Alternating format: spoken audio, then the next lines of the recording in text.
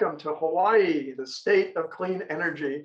I'm Mitch Ewan, your host, and our, our sponsor today is the Hawaii Energy Policy Forum. I'm very pleased to welcome my guest, Jill Wagner, Head of Forestry for Terraformation. Welcome to the show, Jill. Thank you very much, Mitch. I'm very happy to be here. Well, tell us uh, about uh, Terraformation. Uh, what does it do and who started Terraformation? I'm kind of curious about that. Yes, Terraformation is a forestry tech company, and our founder is Yishan Wong. He is a tech guy. He started in um, with uh, PayPal. He was an engineer with PayPal and uh, went to Facebook, and then he became the CEO of Reddit. Um, he's, as an engineer, he's a problem solving person, and he thought a lot about climate change and wanted to do something very specific to solve climate change. So uh, he started Terraformation, and we are um, our we believe that um, natural carbon capture is the most simple way to approach climate change. That is by planting trees. So we have a very holistic approach, and we have we offer a lot of forestry tech for people on the ground all over the world, both in Hawaii. We have projects and all over the world to uh, do forestry so we can scale and solve the climate crisis. So before we get into uh, the, all the details, I just I'm a little bit curious too about the funding and how this is funded because I think that uh, will be interesting to our audience. Yes, um, Yishan started the company and he put his own funding into it. And we also we also have angel investors who um, invest in terraformation. There are many people who care about the future and care about climate change and want to contribute to help solve this problem. So we have angel investors as well. And then I, will tell you about our technology and what we're developing to uh, to offer all of yeah for projects.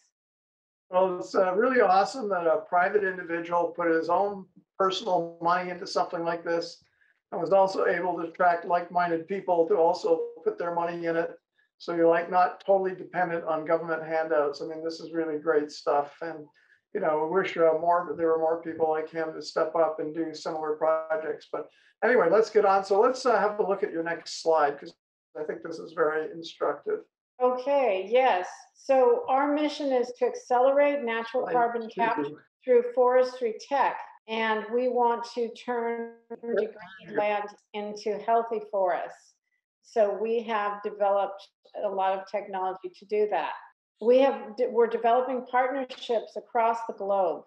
We offer uh, forest um, technology, training, open source forestry applications, carbon credit sales, and financing for projects. Let me just drill in. You said this is uh, more than just Hawaii. This is a global uh, project.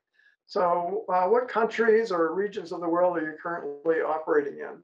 We are developing projects in places like Uganda, Tanzania, Ecuador, Puerto Rico, uh, the Ukraine, the Ukraine, Azerbaijan, Spain. We have a partner in Spain. We have a lot of, you know, many, many places um, are, I've been, are, I've been to uh, I've been to Costa Rica on a hydrogen conference a couple of years ago, and uh, they're really heavy into reforestation, and they're very yeah. proud of the fact that they were able to reforest about 50% of their land, and almost it's like that picture you showed about turning this into this.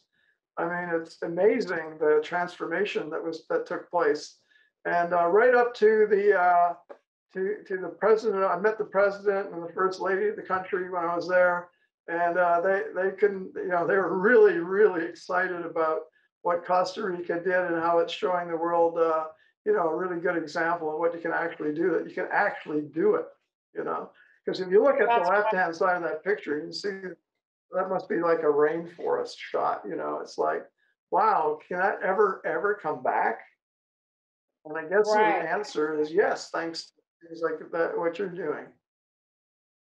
Absolutely, yes. So we've developed some forest technology. You can go to the next slide. One of them is um, an all-in-one nursery kit. I've determined that there are some bottlenecks that forestry projects on the ground have. And in developing countries, sometimes they don't have protection for, for early seedlings, for young seedlings.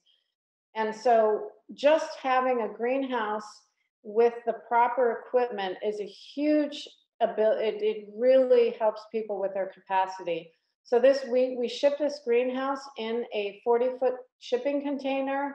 It comes with the tables, the irrigation, the 20,000 pots, and everything they would need to develop a forest nursery. If you go to the next slide, you can see my nurseries, which are the exact ones that they would be getting in Kona. These are the ones that we operate in Kona. And um, if you go to the next slide, you can see a little bit on the inside. And then on the on the next slide, you can see on the inside again, my lead nursery person, Lehua, is, is propagating. This, when you have um, seeds, you need to have a more protected area before they go outside into acclimatization. So these nursery kits are really helpful for projects on the ground. And then if you go to the next slide, you can see we also have developed solar, solar powered seed banks. These seed banks come again in a 40 foot container and they're completely solar powered. They're, they have um, climate control, air conditioned and dehumidification. They have three workstations they have come with three refrigerators and they can hold three to five million seeds. And all of the equipment comes with um, the, the seed bank. So this is really a game changer. If you go to the next slide, you can see the seed bank that I run in Kona, and there's Lehua working on the seeds. On the next slide, you can see it. So I have a again. question about Yes. the seed. I have, I have a question about the seeds, like, you know, what, what's the uh, timeline from the time you, I mean, how do you collect the seeds? Where do they come from? What kind of processes do, do they have to go through? And, uh, ba- and then basically, what's the timeline from the time you pick whatever it is off uh, the, uh, the host tree, I'll call it, to the point where you're ready to plant the seedling? Well, that's a good question. And it really is the heart of the matter because it all starts with the seeds. And we want to support projects wherever they are to save their regional seeds, their native seeds from their region. This is a really, really big bottleneck. We have, you know, the Trillion Tree Initiative um, from World Economic Forum from 2020 to 2030, we want to plant a trillion trees. And the fact is, if you think about it, if you need to plant a trillion trees, you need two trillion seeds.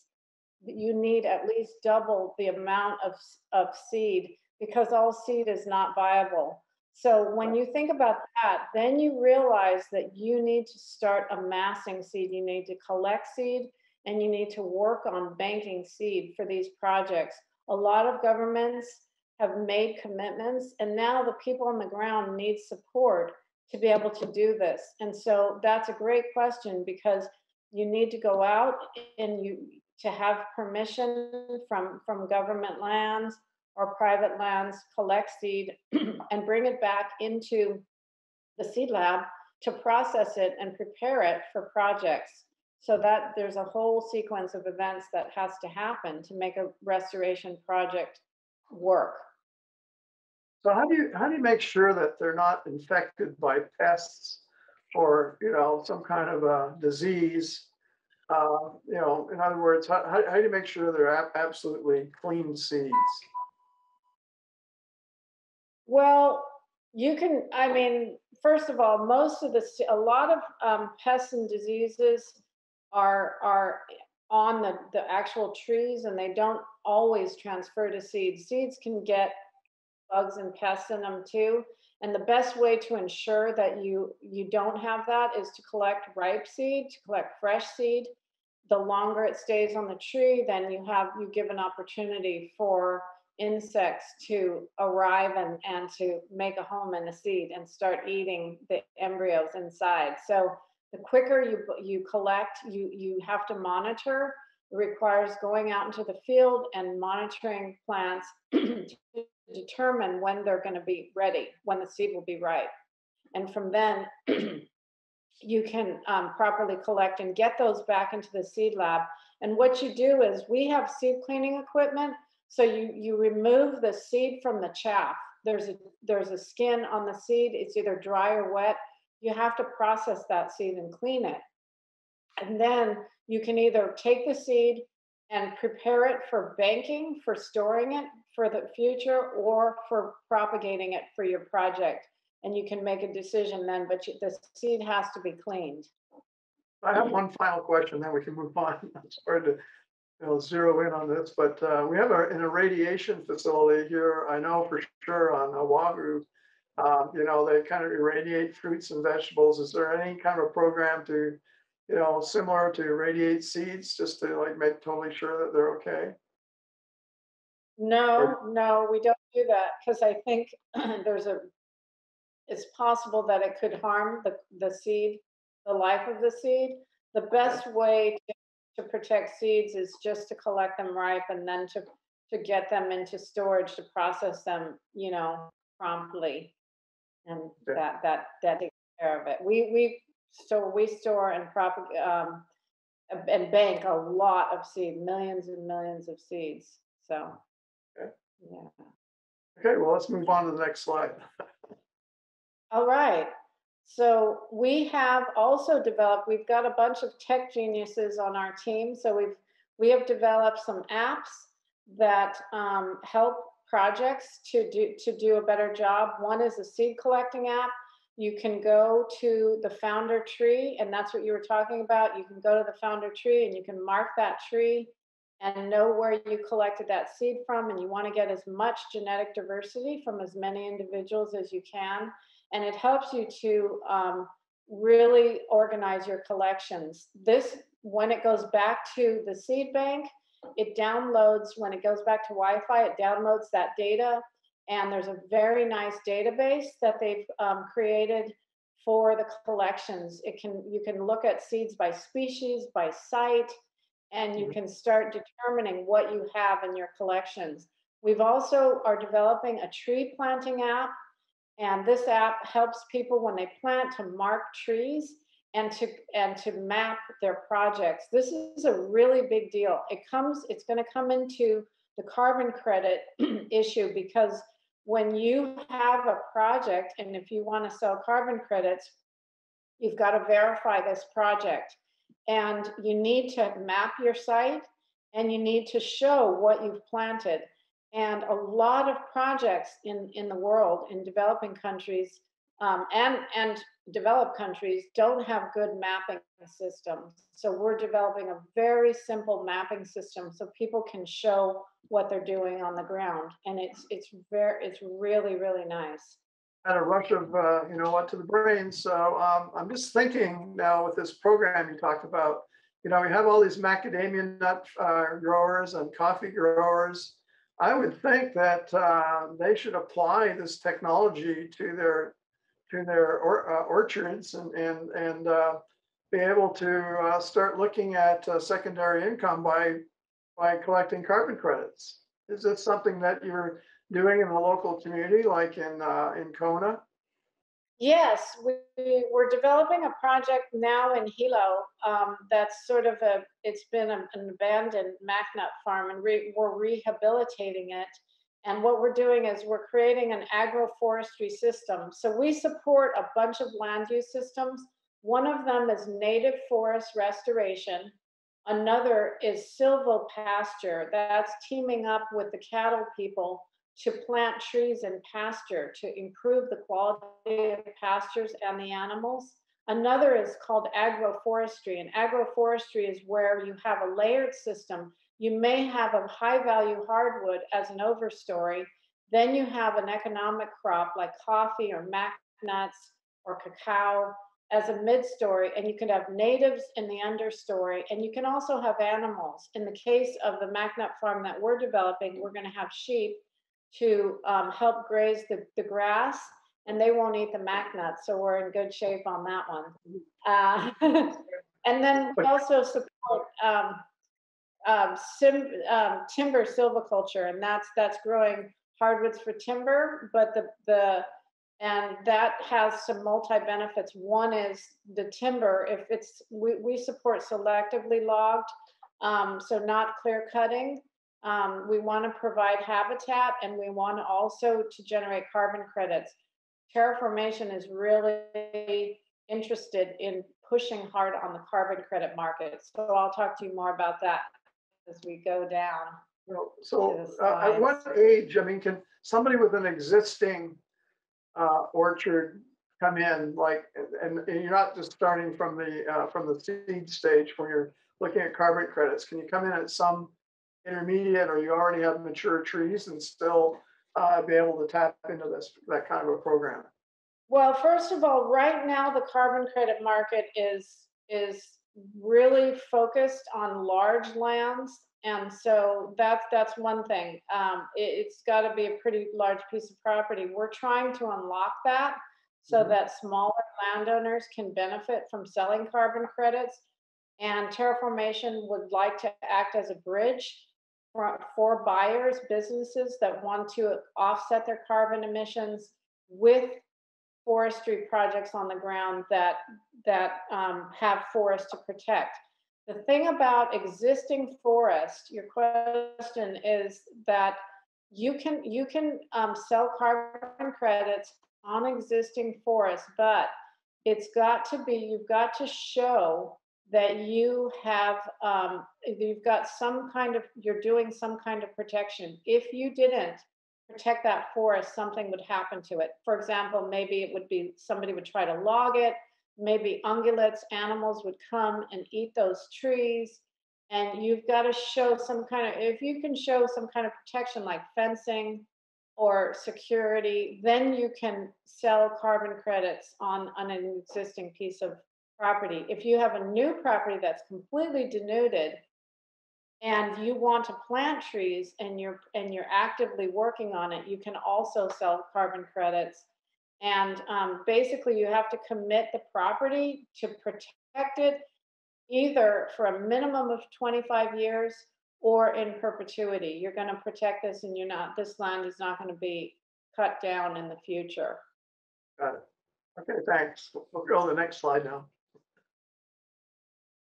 We also offer um, help with people who have water issues. Um, there are a lot of uh, projects that have limited capacity in terms of water. Either the water that they have is not clean or they, they just don't have access. So they can drill a well, or if they have a well, they can um, desalinate it. And we we did a test case at our Kohala, at a Kohala site that we call Pacific Flight, and that that property is um, a really good, a really good example of what solar desalination can do. And this this is not a new technology. Obviously, people have been desalinating water for a long time now, but because the, the cost of solar has come down so much and it continues to, it it it unties it with fuels and it it allows us to do these kind of desalination that that would have been very very expensive. Now it's really coming down in price. So we're trying to help people to do that and to clean their water. So you can uh, go to the next slide and you can see uh, that's our our kohala site water. And then we also help people in the next slide with um, just catchment systems and it, it's not it doesn't sound very you know very innovative in hawaii but i can tell you that people all over the world do not do water catchment like we do in hawaii. It's pretty common here but yes i did a project in vietnam and you know this is a this is a place that's similar to hawaii that but it's it's more even more um, accentuated. They have two seasons, a wet season and dry season, but the wet season is a monsoon season. So they're getting torrential rains half of the year, right? And then the other half, it's parched, it's cracked, it's very, very dry, and they don't catch the water. So when you have to do a planting project, you're really risking all that planting and the work that you've done if you don't consistently water those plants through that dry season. So simple things like water um, catchment is very, very helpful for projects. Interesting. The next slide I can show you is the carbon credits. And we, as I said, we're, our, our mission is to help landowners to have access to carbon credits as a way to protect land and to make money because for the duration of the project, which is our projects we're setting up are about 25 years, it provides people with funding, a funding stream. And one of the ways that we're helping people to fund what they need if they're doing big restoration, big tree planting projects, and they say, we really need a seed bank, we really need a nursery, then we can provide those those those technologies uh, at no cost upfront, and then we do a revenue share, and that's that's a business model that we we're developing. So we can say, okay, we we'll, we just want to get the money back that we put out for for the tech that we provided. There's no markup, and then you can get the tech at no cost and get you started and um, and then we we have also developed a relationship on on a multi-year you know multi-year relationships that's very important because a lot of projects maybe can get grants or maybe can get some funding on the short term but then after a while a year or two very quickly it runs out and the their their support leaves. And and when that happens sometimes projects fail and it's important for for projects to be able to to make it through because this is this is fighting climate change. This is carbon capture and it's it's got to succeed. It has to so that we're committed to working with people and and making sure it does. And um, so one of the other um, things that i wanted to tell you that we're developing is we're developing training. Where we have two series of videos. One is um, called nursery management, and the other is on seed banking. So people can get um, the the all the training step by step. They're 10 10 minute videos, and it goes through step by step what they need to know to run a forest nursery and to collect seeds and to run a seed bank. So they can learn that and go through it and get one-on-one Zoom um, calls with with our our leads so they can if they have any questions they can get those answered as well so we really try to support them in whatever way we can that sounds great so uh, quick question now do you have a relationship with the uh, university of hawaii the CTAHR organization is that something yes. that yes i work with uh, jb friday um, uh, the UX, UH Extension Forester. And um, I also, I've, I've got a, a good size forestry team and I, I have been um, reaching out several times a lot to the UH forest team and the um, environmental training, the forestry training um, at, at, here at UH Hilo for people that want to learn conservation are learning conservation um, in the university and then want to get jobs. And we are we're expanding our teams, uh, you know, a lot every every couple of months.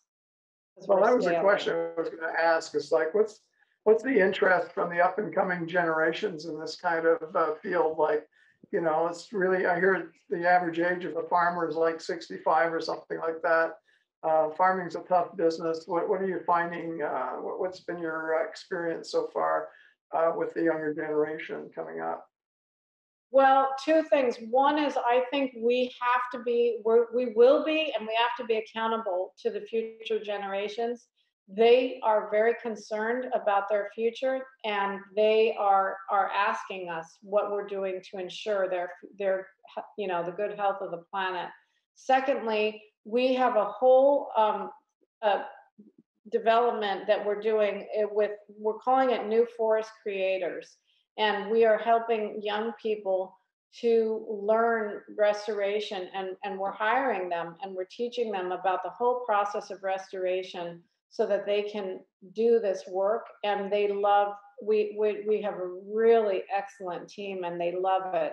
And I'm, I'm hiring all the time. So we, we definitely are going to be expanding. We want to be a very big presence in Hawaii.